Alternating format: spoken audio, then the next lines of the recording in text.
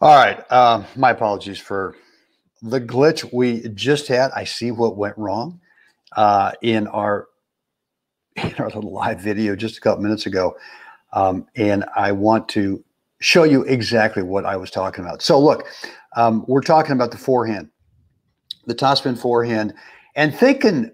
I mean, spin. Obviously, you want to think about spin on this, but you also want to be thinking about shape, right? What's kind of the what's the arc and we've got Mike Federle over there with his return.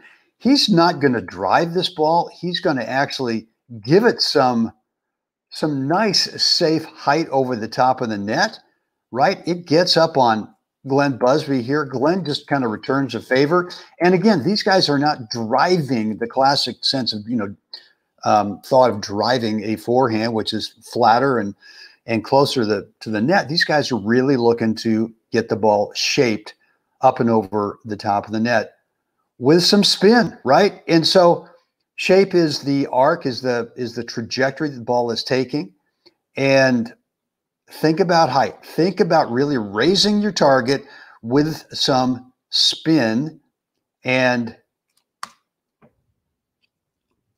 and this is going to be interesting right here. This is kind of a two-shot play. I, you know, if, if you just watched the video I just did, you know the outcome of it. But I think what, what Glenn's looking to do here is the same thing. He's looking to get this ball up over to Mike's backhand. And now he starts to get himself into position because what does he see? Well, he sees he sees Mike over there hitting, you know, setting up hit a slice backhand on a pretty high contact, right? This is like the classic head high, tough ball, um, slice backhand. And so Glenn is right, right where he wants to be. You know, he's got a foot inside the baseline. And again, I asked you if you're Mike on the other side, what what shot are you anticipating that Glenn is going to hit? Typically, what we do with what's the right shot is if you're Glenn on this side, what shot would you hit? And maybe that's the way you think about it sometimes, right? If if, if you're Mike, you're thinking, what shot Glenn is going to hit? Is really what shot would would Mike hit in this situation, and that can get you into trouble sometimes. Anticipating what your opponent's about to do based on what you would normally do in this situation. So this is this this is a tough one to read. I mean, look from right here, could Glenn hit a dropper? I think he could.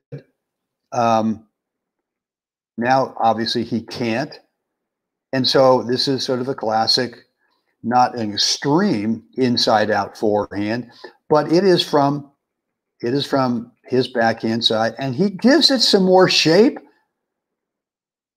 And there you go. There you go. So I'm just going to play this in real time for you.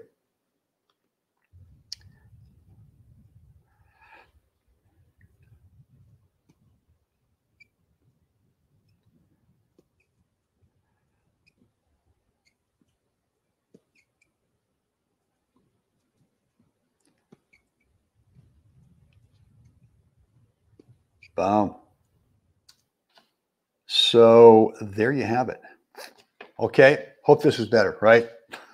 Almost feel like deleting the one before, but I'm I'm going to leave it up there anyway. Um, guys, if you have any questions, right in the comment section, let me know. Questions, comments, remarks, let me know. Uh, and also in the, in the, description area, I've got for you um, a complimentary 20 minute video course for helping you out with your top spin second serve maybe too many double faults. Maybe that second serve's going in, but just sitting up. No bueno, we don't want that.